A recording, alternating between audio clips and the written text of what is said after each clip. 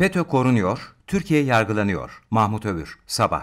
Amerika Birleşik Devletleri'nde bir kesim sadece S-400'ü bahane ederek veya Fırat'ın doğusunu silahlandırarak değil, ekonomiden hukuka farklı argümanları da kullanarak Türkiye'ye karşı açık bir savaş yürütüyor. Bu o kadar açık ki dünün stratejik ortağı Türkiye bugünün hasım ülkesi ilan edilebiliyor. Amerika Birleşik Devletleri'nin bu hasımlığını her olayda görüyoruz. Alın birkaç gün önce tahliye edilen eski Halkbank Genel Müdür Yardımcısı Hakan Atilla'ya verilen hukuksuz cezayı.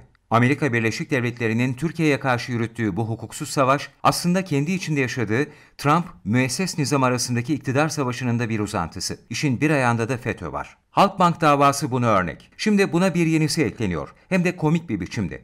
Bu kez Türkiye için lobi yapan iş adamı Ekim Alptekin yargılanıyor. Suçu, Türk hükümeti adına FETÖ elebaşı Gülen'in iadesi için komplo kurmak, yabancı bir devlet adına kayıt dışı temsilci olarak hareket etmek ve yalan beyanda bulunmak. Örneğin iddianameye göre iş adamı Alptekin, güya FBI Başkan Yardımcısına şöyle demiş. Gülen'in suçu yoksa o zaman suç oluşturacak bir delil bulalım. Benzer bir yalanı eski CIA Başkanı James Woolsey de söylemişti. Fikir, söz konusu kişiyi gece yarısı örtülü operasyonla kaldırmaktı. Ortada kanıt falan yok ama Amerikan yargı aklının bu işleri iyi bildiğini, öğrencileri FETÖ'cülerin Türkiye'de sahte belgelerle açtıkları onlarca davadan biliyoruz. Peki madem Alptekin Amerika Birleşik Devletleri'nde gerçekleşen görüşmelerde böyle hukuk dışı taleplerde bulundu, neden anında tutuklanmadı? Koskoca CIA Başkanı ya da FBI Başkan Yardımcısı kendi ülkelerinde bu suçları işlemeye hazırlanan biriyle ilgili neden hemen işlem yapmadılar? Neden Türkiye'ye dönmesine izin verildi? Çünkü bu kumpas Alptekin döndükten sonra planlandı. Bu davada suç ortağı olduğu iddia edilen iki isim daha var.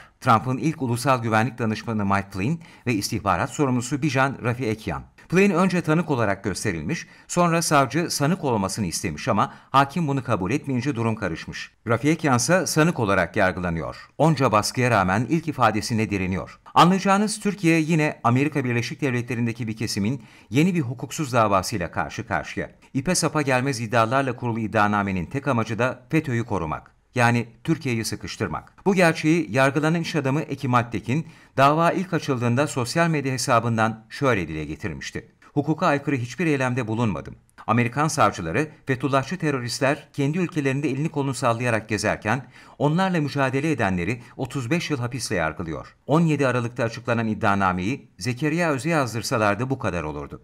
Tarih affetmeyecek. Türk-Amerikan ilişkilerinin sağlıklı biçimde ilerlemesini arzuluyor ve bu ilişkiyi zehirleyen FETÖ'ye karşı legal olarak mücadele veriyorum. Türkiye-Amerika Birleşik Devletleri ilişkileri gerçekten tarihinin en büyük krizini yaşıyor. Bu krizi isteyenler Amerika Birleşik Devletleri içinde Trump'a da karşı. Trump, G20 zirvesindeki çıkışı ve sonrasındaki açıklamalarıyla Türkiye'ye farklı yaklaşıyor ama herhalde başaramıyor. Bu iç çelişki nedeniyle darbeci FETÖ'cüler orada elini kolunu sallayarak dolaşırken lobi yapanlar yargılanıyor. Suriye'de terör örgütü ilan edilen PKK-YPG silahlandırılırken terörle mücadele eden Türkiye eleştiriliyor. Ama en pervasızı Patriot'ı neden vermediklerini açıklayamazken S-400 alamazsınız demeleri. Tam da bu yüzden Türkiye'nin S-400 kararı tarihi bir karardır ve yeni bir dünyanın ilk işaret bir şeyidir.